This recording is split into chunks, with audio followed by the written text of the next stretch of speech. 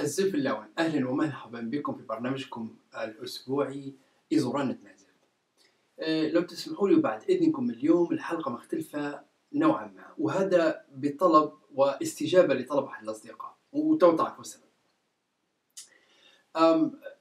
مختلفة لأننا سوف نأتي بكلمة بنجيب كلمة رئيسية في اللغات أه، تقريبا هي كلمة رئيسية في جميع لغات العالم وهي عضو من أعضاء جسم الإنسان اللي هي اليد. علاش نقول هي كلمة رئيسية؟ غالبا فيه حوالي 120 كلمة في آه، يستخدمها علماء اللغة تسمى أحيانا باسم سوادش ليست وهي حقيقة سوادش ليست متغيرة في مجموعة آه، يعني حسب الفترة اللي كانت تدرس فيها وتدرس فيها وإلى آخره، المهم هذا مش موضوعنا. الموضوع إنه هو فيه كلمات من الغالب في جميع لغات العالم هذه الكلمات لا تتغير وتكون ملازمة ولصيقة باللغة الأم. بحيث ما تتغير. يعني شمس أرض يد وجه إلى آخره من الكلمات المرتبطة بالحياة اليومية بتاع الإنسان منذ وجوده منذ الخليقة إلى يومنا. هذا هني نبي ندير مقارنة بسيطة بس وهذا درناه على فكرة في اللغويات. يعني لو ت... لو بعضكم متابع آه، المجموعة اللي نديرها على ال linguistics universal linguistics أو علم آه، اللغة العام. آه، يعرف إن هذه المقارنات درناها من قبل. فمثلا في اللغات السامية اللي هي العربية والعبرية والأرامية وغيرها من هذه اللغات السامية يستخدموا في كلمة من جذر ثنائي وهو الياء والدال.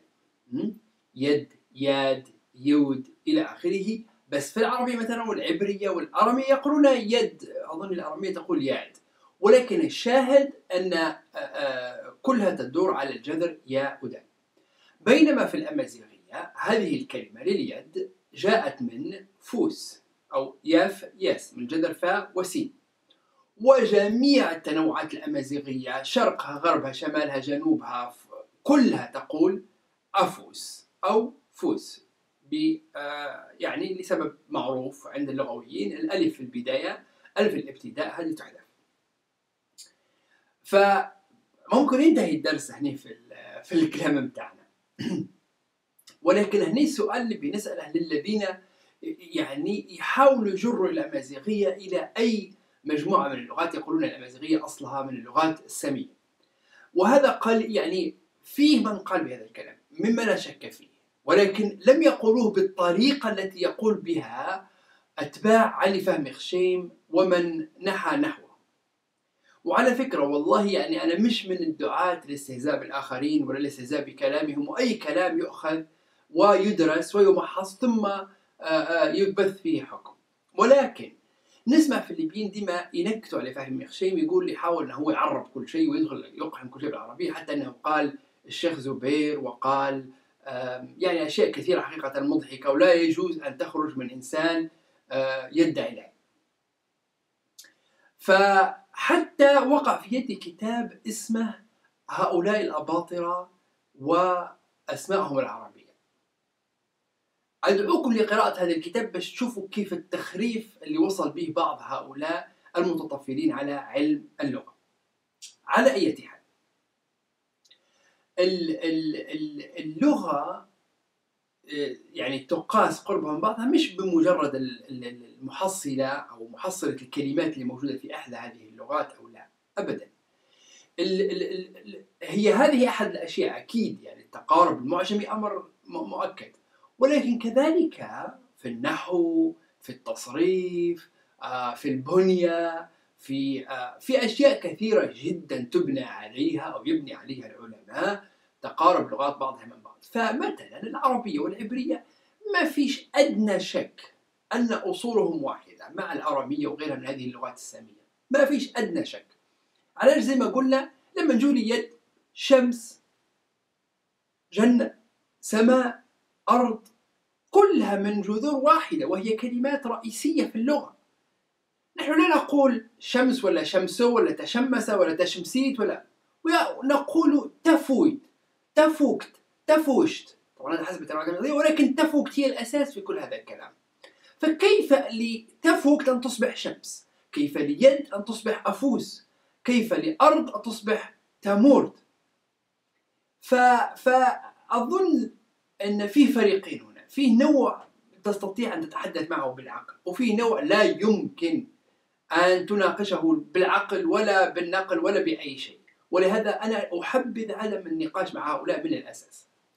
على أي حال نعود إلى كلمة أفوس وهذه الكلمة بأنواعها في اللغة الأمازيغية. أفوس هذه زي ما قلنا عند أمازيغ الشمال مثلا وأمازيغ الجنوب آه، تعني اليد. قد تعني أحيانا أشياء أخرى. فمثال عندي محاضرة درت على الأرقام على فكرة في اللغة في جبل نفوسة الرقم الخماسي وما يتعلق بكل ما هو خماسي في جبل نفوسة ولكن هنا سوف أتحدث عنها مرة أخرى. اليد تملك خمسة أصابع.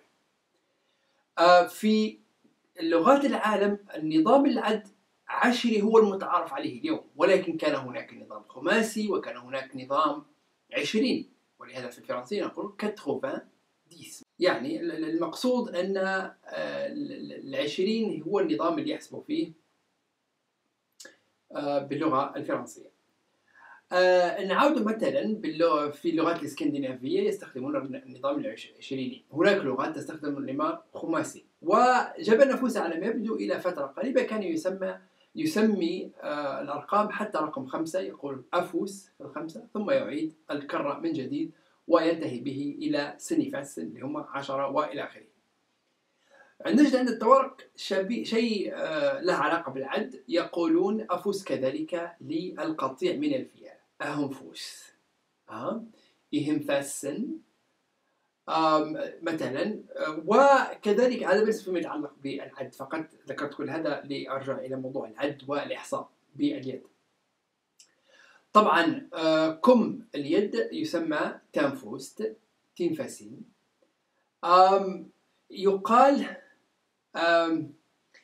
يعني يعني كذلك مثلا في آه، فوس وأفوس وافاسن إلى آخره آه، بجميع التنوعات مثلا في زواغة وأير وإلى آخره يقولون كذلك أنفس و إنفاسن إنفاسان كذلك عن آه، كم الجبال. طيب اليد في آه، نفوس زي ما ذكرنا تعني رقم خمسة وتعني كذلك اليد. في و وعلى ما يبدو أن سوكنا وجربة قديما جدا كانت تستعمل نفس هذا الطريقة في الإحصاء.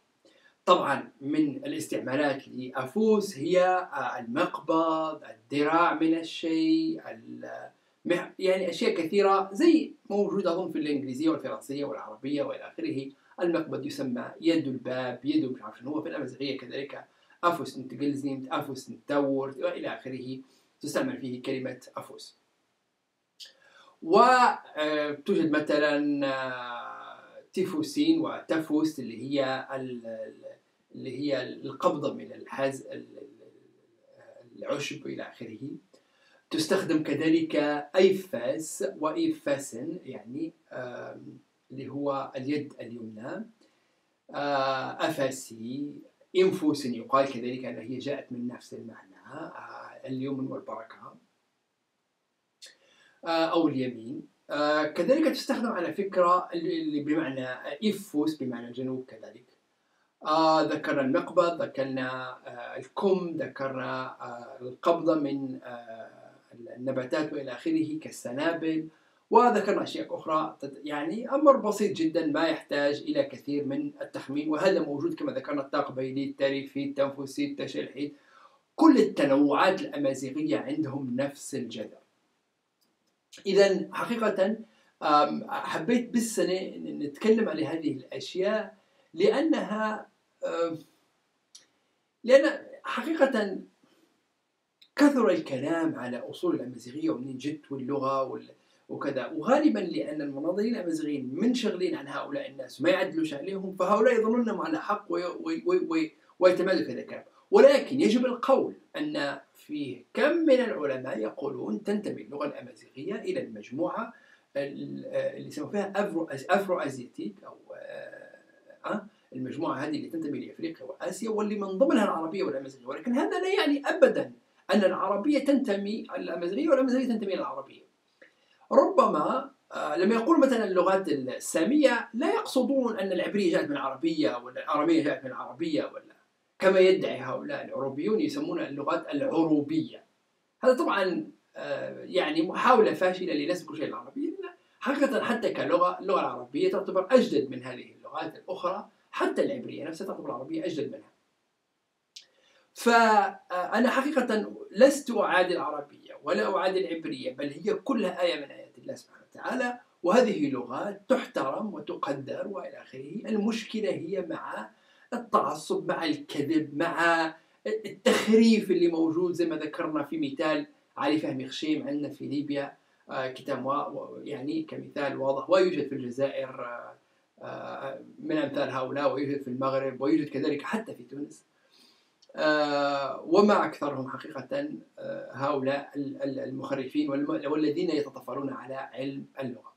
على أي حال آه ذكرت زي ما ذكرنا تافوكت كما ذكرنا أفوس كما ذكرنا هذه الأشياء.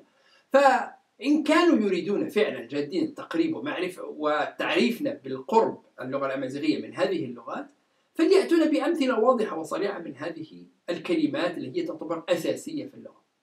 تنمرنون وإلى حلقة أخرى و آه فهذا هو آه، يعني استجابة لطلب أحد الأصدقاء وإلحاحه علي منذ أسابيع لأتكلم في هذا الموضوع تنمر وإلى حلقة أخرى إن شاء الله